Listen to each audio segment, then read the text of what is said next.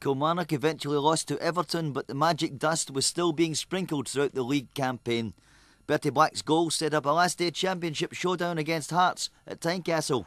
In these days, teams finishing level in points were separated by goal average, the goals scored being divided by the goals against. In short, a 2 0 victory would give Kilmarnock the title by .042 of a goal. Much better Kilmarnock play.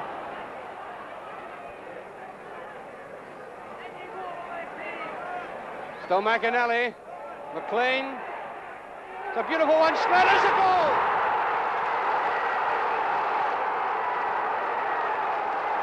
What a goal by Sneddon, engineered by young McLean on the right wing. And so with 17 minutes still to play in this first half, Kilmarnock have got one of these very precious two goals that they're after. Well, if you'll pardon the cliche, the fat is certainly in the fire. With almost 60 minutes of playing time to go and anything can happen. A beautifully engineered goal, worthy of a great game.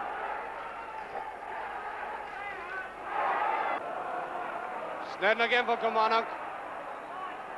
Berry.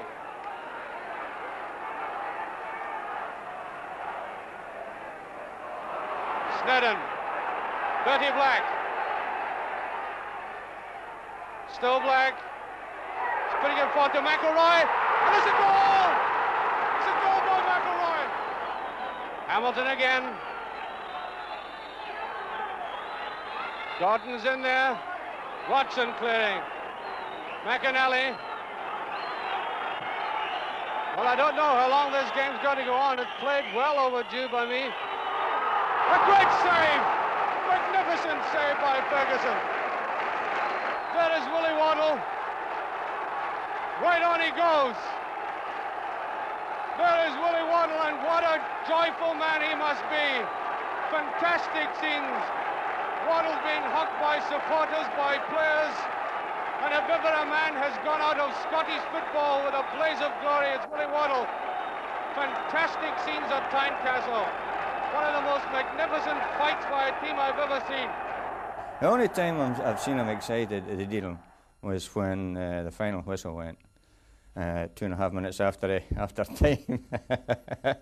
um, a wee story about that was uh, Norrie McNeil was the assistant and he was saying, uh, what time is it? He says, oh, it's five minutes ago. Shut up, shut up. I don't want to know the time. But once the time final whistle was supposed to go, He's, not going to blow the whistle, not going to blow the whistle. These are famous pictures of Willie coming onto the park. Yeah, that's, that's, that's uh, the most uh, excited I've ever seen the man uh, at any time. He was excited at the Eintracht match, but the only thing he did that night was come in and shook all our hands, and that was it. he could motivate players, Waddell, you know, and he knew how to get the best out of players, and he got the best out of Kilmarnock players. We came back and came through the town, and there was thousands and thousands of people we started at the top um, and came right down to the Glencairn Square. And in fact, I saw my mum and dad. I couldn't speak to them because we were on the bus. And we lived in Barbados Road, which is just from between the square and here. So my wife was expecting Catherine Ann uh, then. And uh, I said to the boss, I said, let me off at Barbados Road, I'll get Rena and I'll come over. Right? So I gets off at Barbados Road, runs up the stair. I says, where's Rena? She's over at the park. So David had to run for Barbados Road, which is about half a mile from here. And I gets to the front gates and they're shut. So I said, oh, what did I do? So there's a big crowd wanting to get in. So I'm pushing my way forward. And I says, you got to let me in. It's a sergeant at, at, the gate. He says, nobody getting in, son. I says, you know kidding me? and he looks down and he says, Oh, it's you, David. I owned eh? you go.